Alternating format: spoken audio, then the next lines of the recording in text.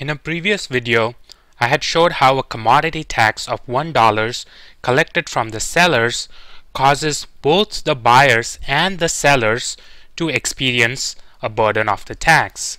In this particular example, the consumers experienced a burden of 65 cents and producers of 35 cents.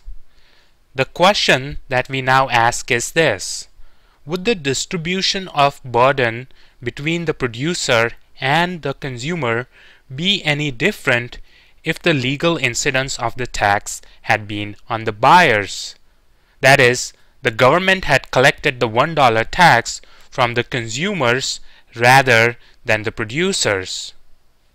The answer is that there would be no difference.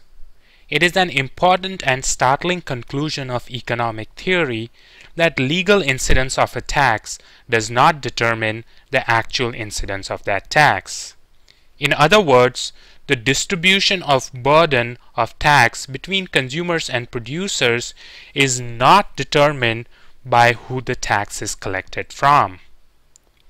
To demonstrate this, I'm going to clean up this diagram from the previous video that had demonstrated the effect of tax collected from sellers.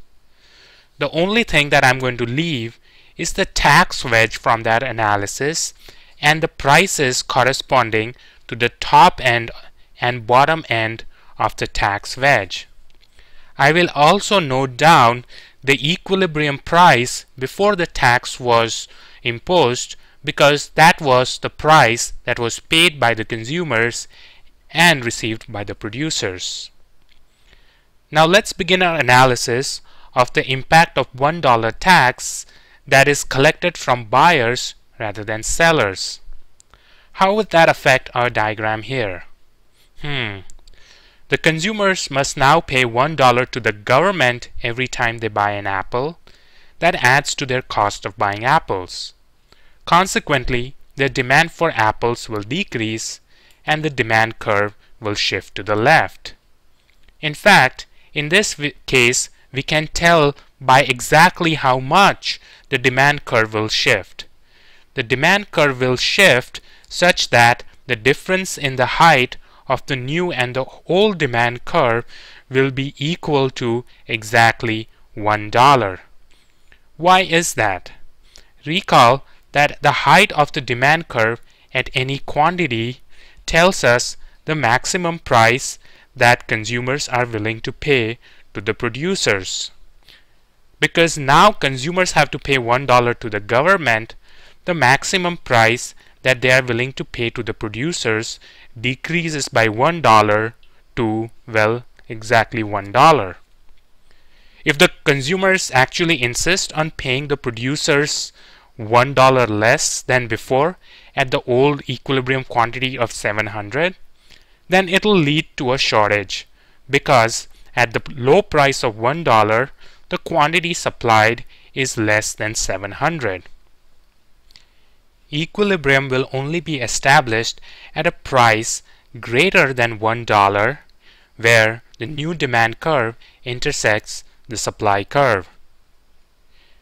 That seems to be the price of $1.65 and a quantity of 500. Now how do we know that the new equilibrium price is exactly $1.65?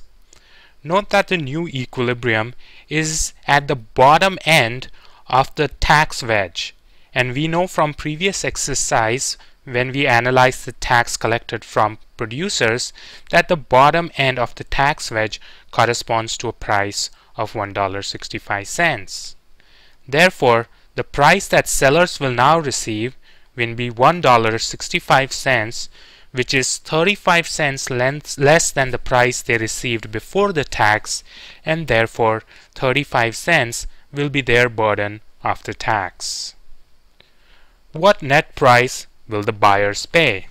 Well, they paid the equilibrium price of $1.65 to the sellers. But in addition, they must pay $1 tax to the government as the tax is now collected from them. So the net price that they pay is $1.65 plus $1 which is $2.65 and that is 65 cents more than the price that they had received before the tax and therefore 65 cents is their burden of the tax. Now this is the moment of the truth. Recall that this was the burden of taxation in the previous example as well when the tax was collected from the seller rather than the buyer. How about that, huh? This surprising result has powerful implications for public policy. Policymakers often talk about how we need to tax businesses more and individuals less. The economic analysis here shows that it doesn't matter.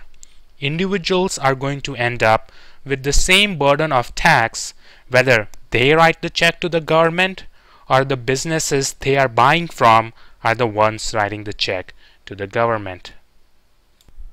Note that the tax wedge that we had kept from our analysis of tax when the tax was on sellers is now useful here as well because it provides all the information about the impact of tax collected from the buyer.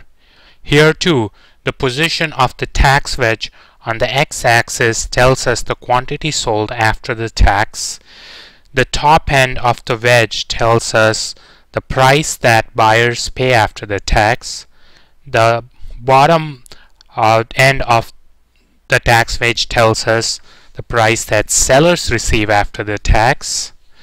The top part, the top length of the wedge tells us the consumer's burden of the tax the bottom part tells us the producer's burden from the tax.